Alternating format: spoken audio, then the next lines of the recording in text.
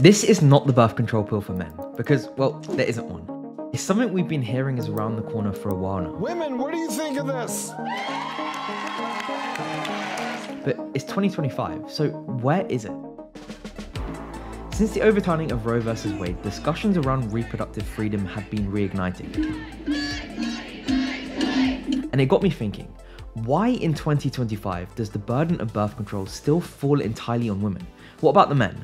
So, over the past few months, I've been digging into this imbalance, and I've spoken with doctors and professors to understand what the science says. Is it really just because men couldn't handle the side effects? Well, I went on a journey to understand that the question isn't just why isn't there male birth control yet? It's so much bigger than that, and the answers are more revealing and urgent than I could have ever have imagined.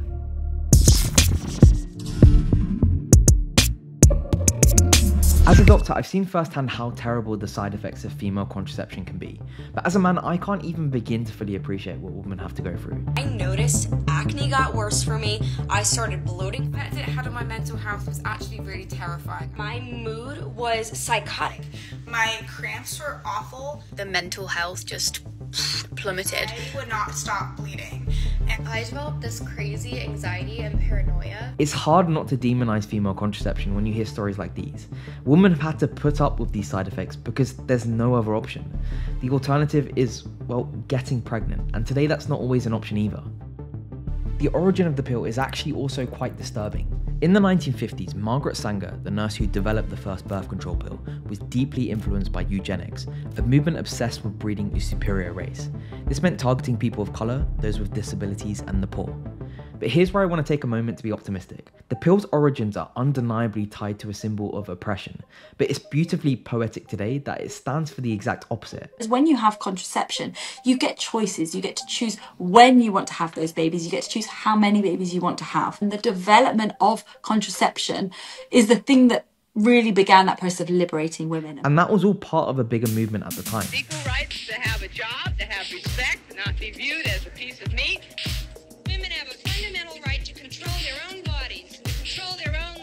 Beyond this, it's also saved the lives of millions of women. One analysis found that in 2008 alone, contraception prevented over 270,000 maternal deaths worldwide. So really, female contraception is worth celebrating, and I think the focus of this video should be asking how male contraception can build on this progress. So let's start with the current options available to women. But first, quick side note, if you're asking yourself this question, Daddy, where do babies come from?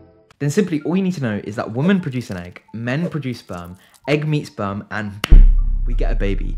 Any form of effective contraception focuses on stopping that whole process from happening.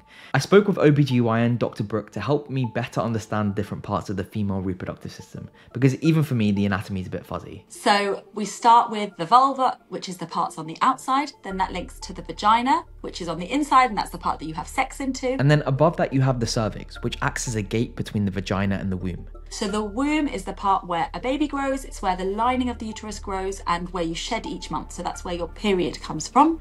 At the sides of the womb is the fallopian tubes, and this is usually where sperm will meet an egg. They sit close to the ovaries, and the ovaries is where you have the eggs.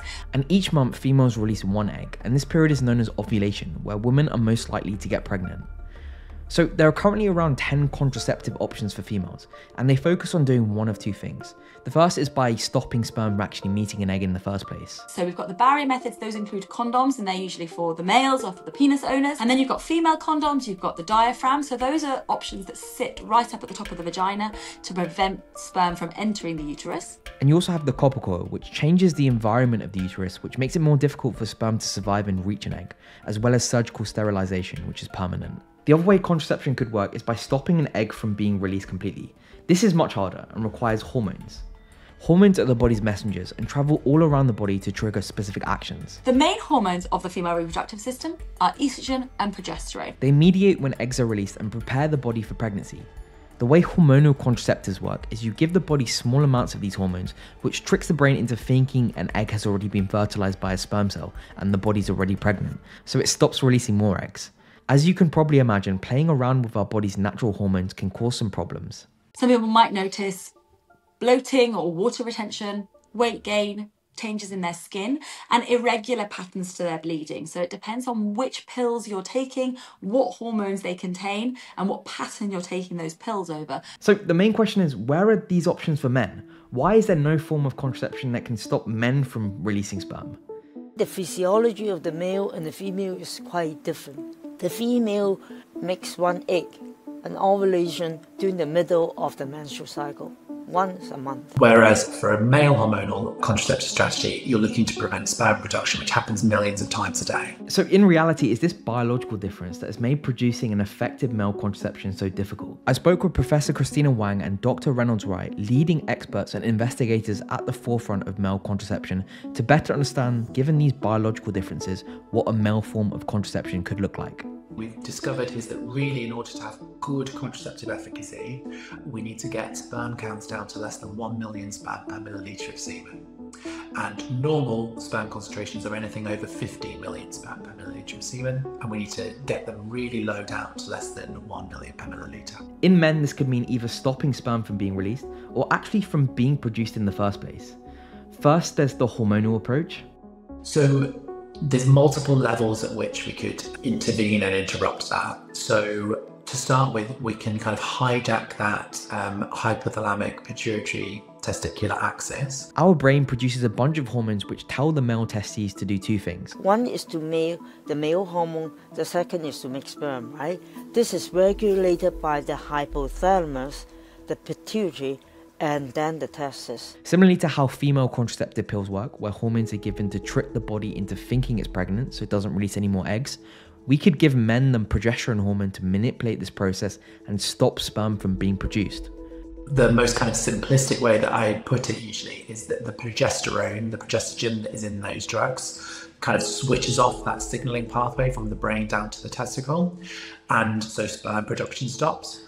The problem with this approach is that researchers have found giving progesterone in men also stops testosterone production, which can cause a load of dangerous side effects. So low energy, low mood, hot flushes, low mm. sex drive, that kind of thing, which obviously is not desirable. So to overcome this problem, scientists found that giving a combination of both hormones has been most effective.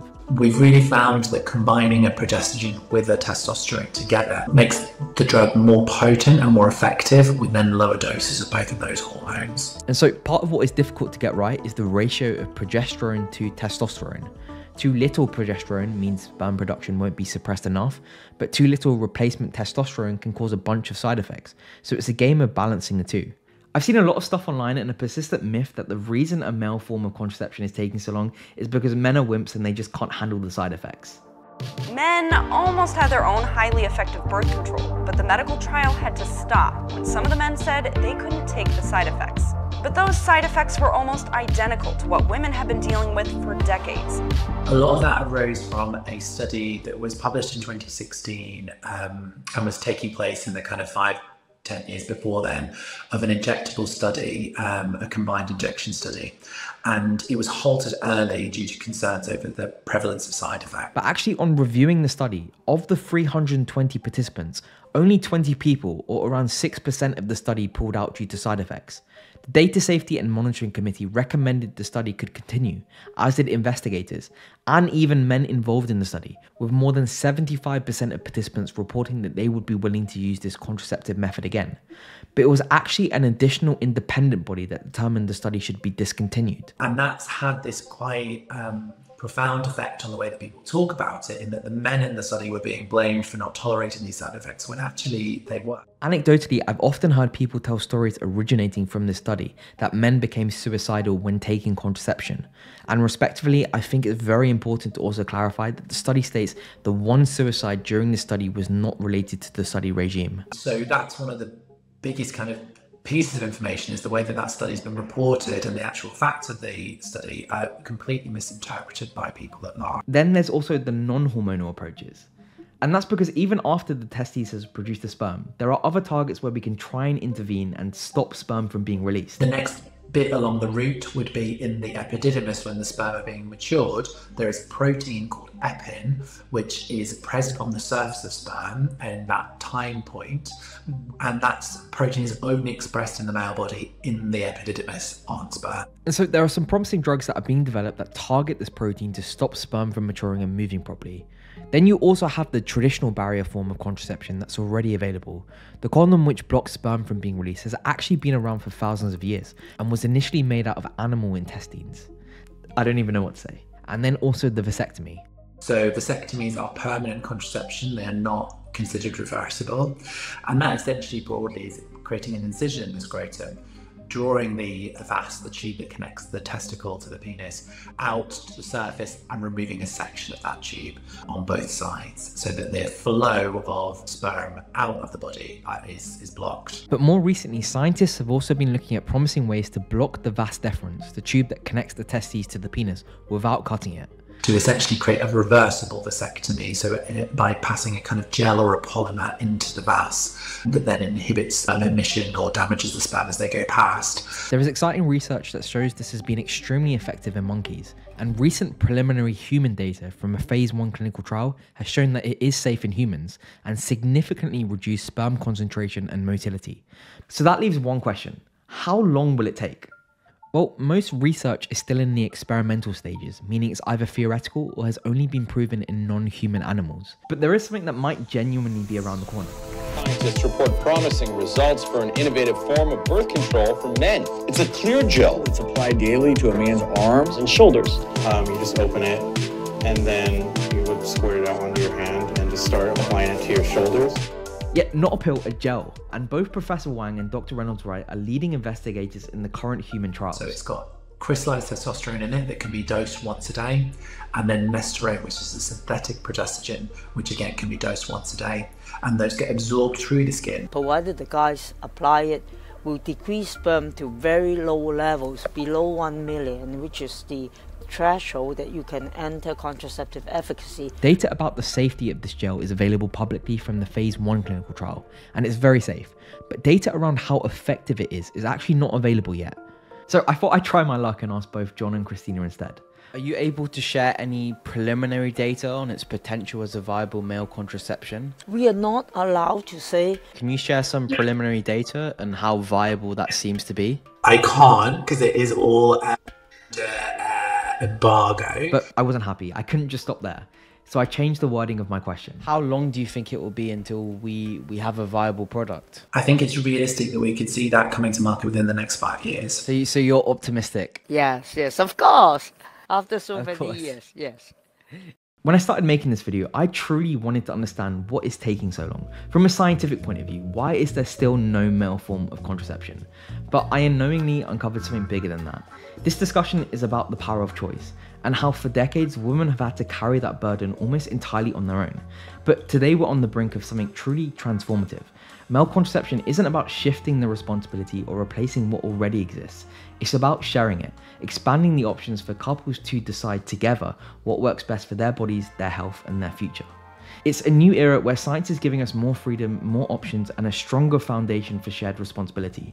And with that comes an opportunity to redefine what it means to plan for the future, not as individuals, but as equals, in the most positive way possible. My name's Esh, a medical doctor working in London, and I create evidence based medical explainers that help people better understand what's real, what's hype, and what the science really says about our health.